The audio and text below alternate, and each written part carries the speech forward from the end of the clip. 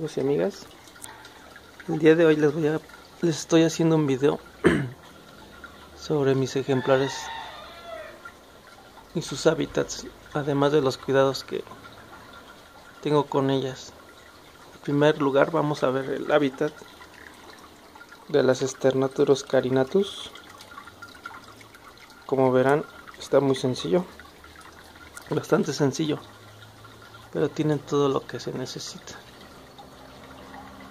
tengo mis pedazos de mangle, algunas plantas y charal vivo, que es fuente de proteína para su desarrollo. Tengo, en este caso tengo dos ejemplares, no les pongo nombre porque soy bastante práctico, no me gusta nombrarlas. Como verán el filtro que manejo es un filtro pues le puedo llamar de cubeta. Este filtro está hecho con guata, ceolita, carbón, carbón y tesonte. Tengo una cabeza de poder bastante pequeña, no necesito más.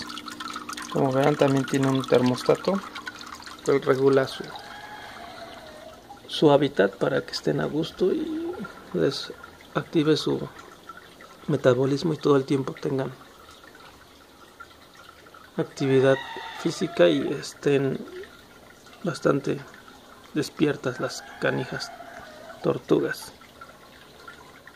En algunos de los peces, eh, charales que tengo se notan algunos guppies. Ahorita les voy a platicar de dónde vienen estos guppies.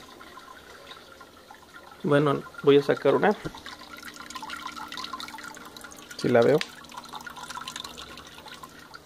Y si se deja, ¿verdad? Estas esas tortugas se las compró un compañero del grupo de Tortumania. Se llama Argenis.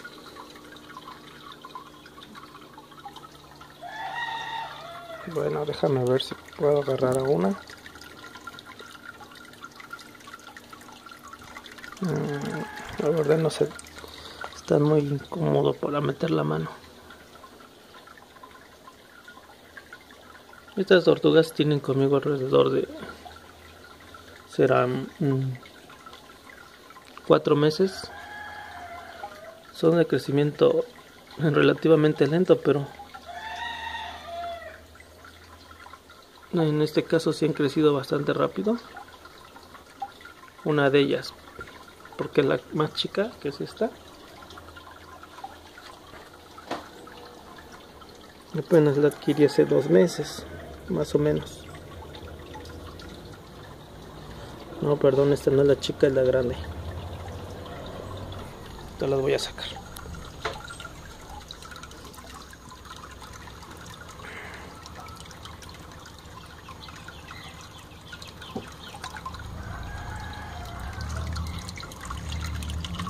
Esta es la grande. Sternaturus carinatus. Perdón si oyen ruidos o animales. Este video lo estoy grabando porque estas horas se supone que es más tranquilo. El lugar. Pero aún así se oyen las aves y los carros. Esta es la grande.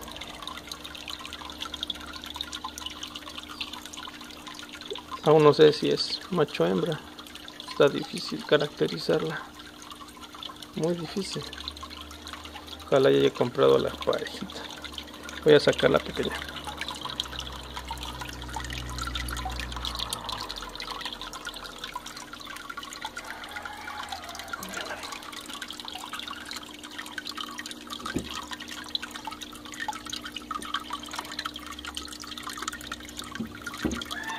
Se deja que está. Es muy activa ya le tengo. La pequeña. La que tengo alrededor de dos meses con ella. Estos ejemplares me gustan bastante son muy bonitos. Y son muy agresivos. Bueno ahorita se dejó sin problemas. Normalmente es inquieto. Será por la hora del día. En este caso este tipo de o especie de tortugas yo los alimento con charal vivo. Les doy algo de fruta, plátano, guayaba, ah, fresa. En algunas ocasiones les doy también este, pellets. En este caso manejo el reptomín. También les he dado caracol. A veces les doy filete. Filete de pescado o pollo. Eh, les comento mi hábito está muy sencillo pero parece que les agrada bastante y están creciendo bastante bien. Aquí al lado tenemos a una tortuga lagarto una Chelidra rosignoli de igual manera tiene sus alimentos sus charales vivos. También le hice un filtro de cubeta que justo es como lo tengo con él de las carinatos también tiene guata, ceolita carbón activado y algo de tesonte. Junto con esta tortuga tengo por el momento una tortuga podoc Nemis unifilis ya que ambas estaban bebés cuando las puse juntas pero ahorita ya. La verdad es que la tortuga lagarto ya necesita más espacio. Está con ella tengo alrededor de 6 meses y con la Podoc tengo unos 3. También tiene su calentador. Normalmente manejo temperatura de 26 grados. Esto también para tenerlas activas, con ganas de comer, de moverse. como verán también anda flotando ahí un poco de lechuga de agua. Cabe mencionar que ah, estoy tratando de que mis estanques sean autosustentables como es esto este tipo de planta yo la traje del DF bueno ya saben de los mercados famosos Michuca y Morelos. Y solamente era una. Esta planta es bastante bastante fácil de reproducir y vean qué cantidad de ella tengo. Y esta solo en esta, en esta pecera. Con las podognemis también tengo un poco pero estoy seguro más bien sé que en una semana esto estará como esto. ¿Para qué necesito este tipo de planta? En el caso de las plantas, de las plantas, perdón, de las tortugas omnívoras, pues esto también se las comen sin problema, les gusta mucho. Como aquí tengo una Podognemis unifilis, pues también es importante tenerla bien alimentada.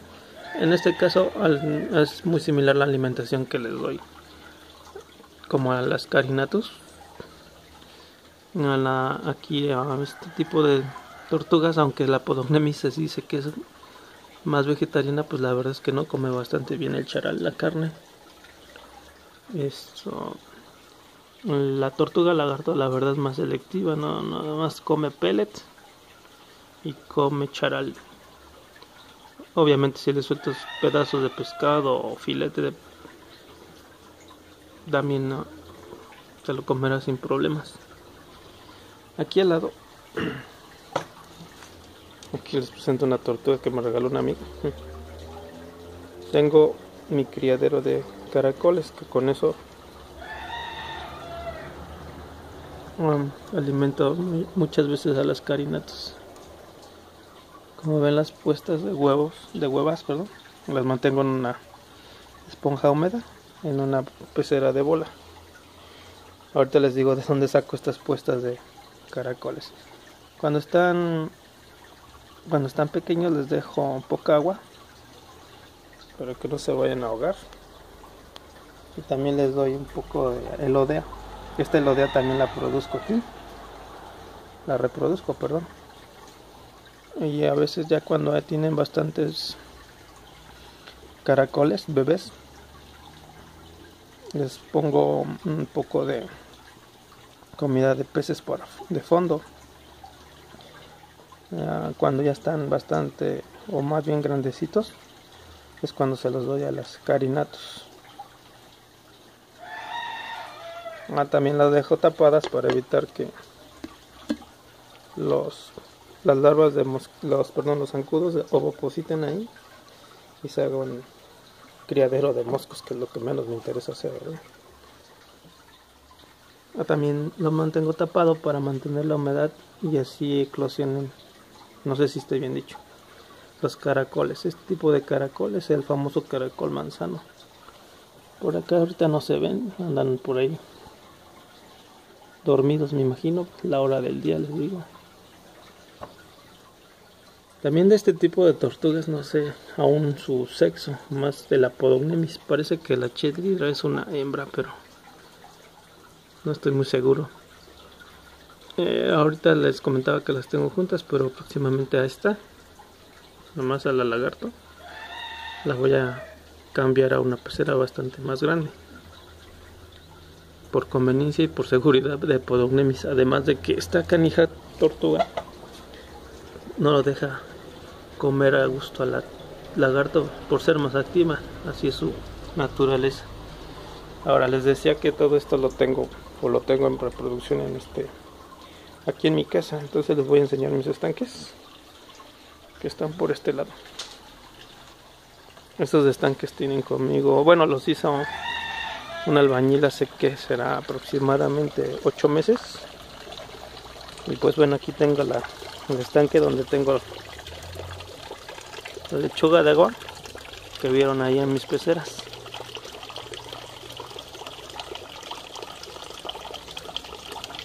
lechuga de agua les decía solamente era una y vean cuánto tengo ahorita. En este estanque aparte de la lechuga tengo un poco de lodea que también se las comen bastante bien las tortugas más las famosas japonesas que también ahí tengo unas ahorita se las voy a enseñar.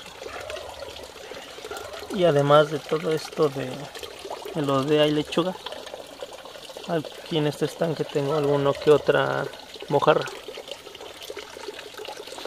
aquí al lado. Hay más elodea y también manejo la que es la cría del charal guppy perdón del charal. Y también hay pez guppy. Para estos estanques les puse un filtro de pantano bastante sencillo para mantener oxigenado aquí a los ejemplares. Una de las bueno no los alcanzan a ver pero en este también tengo alguno que otro acosil que también es buen alimento, buen alimento para las tortugas. Fuente de calcio también por el, su ¿cómo le puedo llamar? su esqueleto. Y bueno también les decía de esto la elodea también solamente eran unas cuantas. Con esto a veces alimento lo que son las tortugas japonesas que ahorita les voy a mostrar y bueno en este caso está mm, cristalina por el tipo de filtro de pantano que manejo. Y como les decía pues todo este tipo de plantas más bien estos dos tipos de plantas les gusta mucho a las tortugas japonesas y también a la podognemis se la come sin problemas estas mejoras que tengo en este estanque que no, se alcanzan a ver. Son de las famosas eh, bolsas de charales que traen. Algunas veces las mojarras la verdad es que son muy agresivas. Y las ya muy grandes pues no es muy difícil que las atrapen las tortugas. Entonces para mantenerlas aparte y no se coman a los demás peces pues las puse en este lado. Vamos a tomar un poco aquí lo de los guppies que les comentaba. A ver si se aprecia alguno que otro cosil. O en este caso todavía no me reproduce bastante. Más bien no me ha reproducido lo que quisiera de guppy pero bueno hay que esperar la naturaleza sabe cuándo es momento y bueno es mi opción cuando se me llegan a acabar los charales de ahí de los estanques de las de las peceras de las tortugas pues ya tomo un poco de aquí sin problema ya tengo un poco de alimento vivo en noche los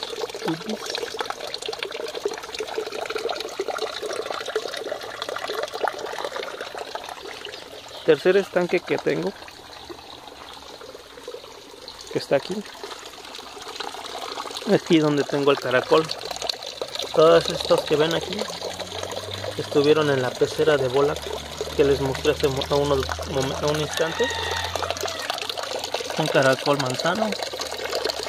Igual solamente eran 10, pero todos estos ya son nacidos aquí en mi casa. También tengo aquí una bomba de poder bastante... Um, no, con mucha potencia, no necesito mucho. Tenemos aquí unas plantas semiacuáticas. este lado también puede haber acosil porque la verdad es que ya se me... Ahora sí que revolvieron junto con el charal y el caracol. Estos caracoles ponen o están acostumbrados a poner sus huevas fuera del agua. Muchas veces los ponen en las esquinas, de hecho, o debajo de este filtro, donde tiene bastante humedad. Mm, los mantengo con oxigenación, con el filtro de pantano. Este filtro de pantano pues, también tiene papiro.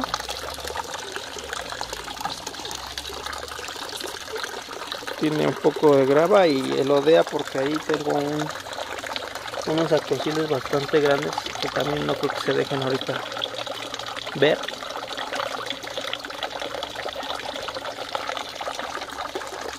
Esta tina la compré en un Walmart y ya la adapté para fines. Y bueno ahí mantengo agregado a lo que son los dos estanques el de Guppy y el de caracol todo el día los tengo en funcionamiento. Prácticamente esos son mis tres estanques de reproducción de plantas, animales, caracoles. Y bueno, ahora les voy a mostrar lo que son las tortugas.